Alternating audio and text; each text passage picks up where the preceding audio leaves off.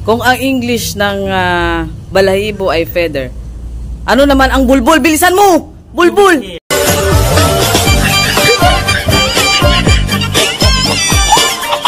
May tanong ako sa'yo. Baba mo yan. May, Ha? ta- may tanong ako sa'yo. Baba mo yan. Ano yan? Kung ang ah, English ng ah, tatay ay father, kung ang English ng ah, balahibo ay feather, ano naman ang bulbul? Bilisan mo! Bulbul! Ha? Putang ina, nasagot.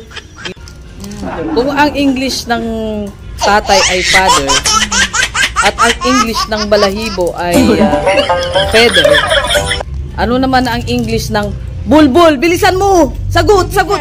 Ha? Ay, putang ina. Ayaw, di ma- Bilis. Bakit? Bulbul. Pubic hair. Bakit? Ano ba? Ha? Tama naman ako. Alam na alam mo, ang talino mo ah. Ba't ano ba dapat gusto mong sagot ko? Ano? Ah? Bulbul. Gago. Bulok.